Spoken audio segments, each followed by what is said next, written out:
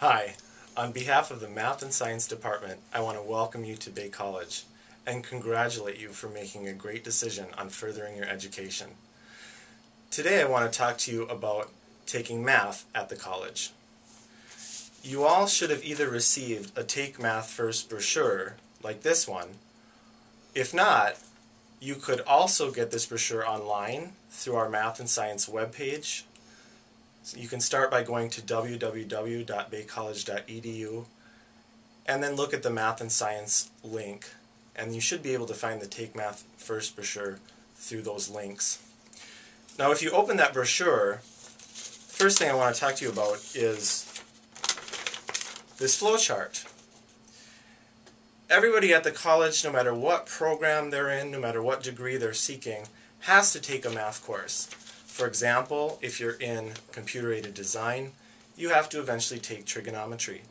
If you're in criminal justice, you need to take either college algebra or liberal arts math, depending on the university that you plan to transfer to. Now if you look at the flowchart, you can see that there are certain courses that you need to have satisfied before you can take other math courses. Now, your placement determines where you start. We determine placement at the college from either your ACT score, or if you don't have an ACT score, or if the, your ACT score is three years old, we require you to take the COMPASS test. Based on the results of the ACT math or the COMPASS math, you're going to be placed into a particular math class. Okay, let's say, for example, that you place into MA 90, which is pre-algebra. If you eventually have to take college algebra, you're going to have to take four semesters of math. Starting with pre-algebra, followed with basic algebra, MA 105, intermediate algebra, and then finally MA 110, college algebra. This is what Take Math First is all about. In the past, we've had students that have been a little bit afraid of math, and they've decided to put math off, to put it on the shelf, to wait until maybe their last semester to take their math course. Unfortunately, they're not ready for the math course that they need to satisfy their degree. So they actually place into a much lower course and they end up having to stay another one, one and a half, two semesters just taking their math to satisfy their degree. We don't want this to happen to you. I don't want this to happen to you. I want you to take math your first semester and get the ball rolling.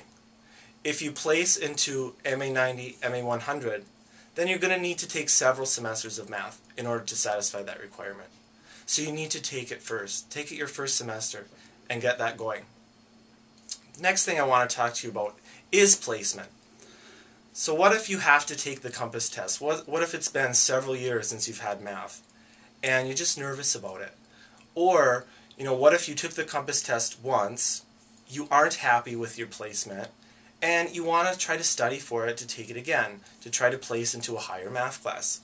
What can you do? Well, there's several things that you can do. The first thing you might do is contact a math science faculty member. And you can find their extensions either on the back of the Take Math First brochure, or you can always call the switchboard at the college. Okay, what else can you do? In the Take Math First brochure, there are several really good websites that you can go to to brush up on your algebra. And those are, are listed right underneath the flowchart. There's another couple good websites, though, that I want to point out. And these are available through our, our Math and Science homepage.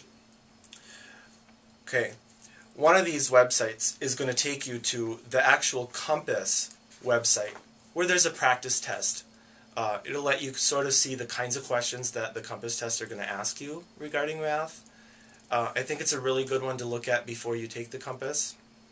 Another good, really good website through our uh, Math and Science homepage is um, we have a, a link to the basic skills tests that we give in our math classes and they're called BSTs, or Basic Skills Tests.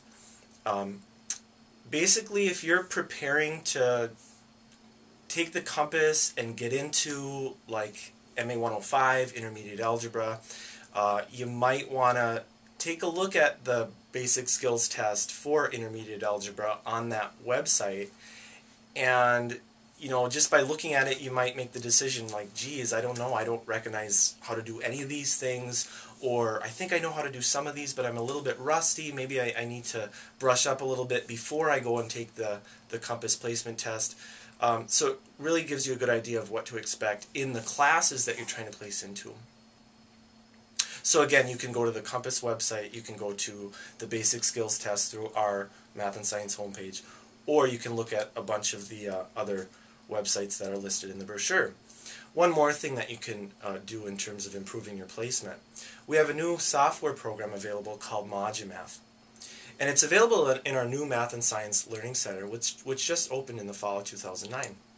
Um, if you want to check out Modumath, you can either call Carrie Devine at extension uh, 1164, and she can make an appointment with you. You can come in and, and check it out. Or you can just stop by room 121, which is in our Math and Science building. It's our Math Science Learning Center. And uh, you can just talk to somebody in there. Modumath basically uh, splits the algebra into a bunch of modules. For example, if you're rusty on uh, factoring, then you can brush up on your factoring by going to that particular module. Um, or a lot of other things. So it's another option for you to get ready for the compass test. Keep in mind for the compass test that you're only allowed to take it twice every 365 days. So you want to study for it. You don't just want to go in and, and think you're gonna you're gonna um, breeze by with you know flying colors. You want to be ready for it. Okay, the next thing I want to talk to you about is success in your math class. What can you do to do well in your math class once you place into a particular class. The number one uh, thing that we found as, as math teachers here is attending. And it sounds silly to say, but if you come to class, you're probably going to do well. Math is one of those subjects where you cannot miss. If you miss one day, it is really going to hurt you. You cannot miss. You have to attend. I heard a student the other day saying, Well, I have perfect attendance. I've missed three days of class this semester. It's like three days. That's not perfect attendance. that's, uh, that's actually quite bad in mathematics to miss three days. If you miss one, you're going to really be in trouble because you've got to learn what was taught that day on your own. And how many of us can learn math on our own? It's, it's pretty hard. So, first thing that you can do to do well in your math classes is come to class, be on time Second thing, do your homework. Math is not a spectator sport. You have to do your work to do well. And we can make all excuses about not having enough time and this and that, but the fact is, if you don't put in the time, you're not going to do well in your math classes. If you put in the time, you are.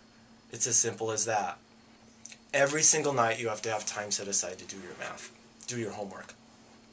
Okay, the next thing that you can do if you feel that math isn't going to be your strong suit, if it's a four letter word to you, for a lot of people it is, you can get a tutor. And don't wait until it's too late.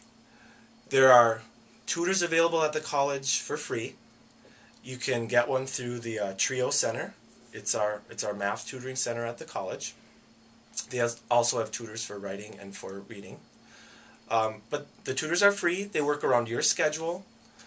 Um, and it's a great option for you. You can either have one-on-one -on -one tutoring, or if there's other people in the class that you're friends with, you can also do group tutoring. And, and again, they work around your schedule and what you want, so it's a really good option. Uh, again, if you feel that math isn't going to be your thing, I would get a tutor right away. Sign up for one as, as soon as you can. Okay, the final thing I want to talk to you about is to succeed in your math class, you really have to get to know your instructors. Don't be afraid to stop by their office hours. Don't be afraid to ask them for help. That's what we're here for. We're here to help you. Okay? If you're having trouble in your class, make sure you stop by your instructor's office hours and ask them for help. And don't wait. Make sure the instant that you're having trouble with something, you do that. If you wait too long, then it's going to be too late. And, and it's going to be hard for you to catch up. So uh, make sure that you do that. Make sure that you get to know them. Again, I want to welcome you to Bay College. I think you've made a great decision. If you have any questions at all about math, feel free to stop by my office sometime. Room 113, Math and Science Building. And good luck.